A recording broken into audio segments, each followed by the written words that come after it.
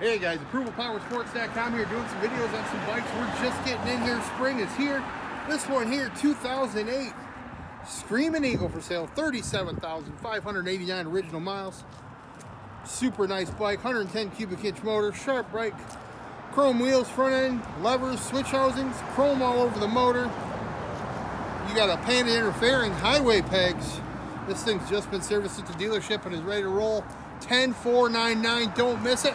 Give us a call. We'll get it done. 810 648 9500.